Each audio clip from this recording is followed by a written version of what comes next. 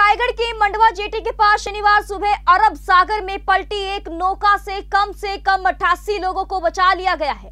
इनमें से ज़्यादातर पर्यटक हैं। यह जानकारी एक पुलिस अधिकारी ने दी।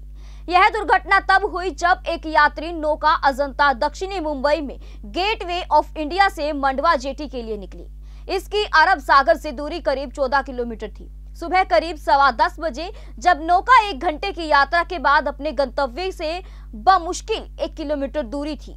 तभी नौका में अचानक पानी घुसने लगा और नौका तेज़ी से डूबने लगी। भयभीत यात्रियों की चीखें सुनकर प्रशांत घरात के नेतृत्व में रायगढ़ पुलिस की एक तटीय गश्ती नौका उन्हें बचाने के लिए पहुँच गई। स्थानीय अन्य नौकाओं के चालक दल के सदस्यों और मछुआरों की मदद से 88 लोगों को समुद्र में डूबने से बचा लिया गया। बचाए गए लोगों में कोई भी घायल नहीं हुआ है। रायगढ़ पुलिस ने प्रशांत घरात की त्वरित बुद्धि और तेज़ी की सराहना की है जिसके कारण यह बड़ा हादसा होते होते टल गया। ऐसे ही लेटेस्ट खबरें पाने के लिए बेल आइकन को क्लिक कर हमारे चैनल को लाइक शेयर एंड सब्सक्राइब करें। धन्यवाद।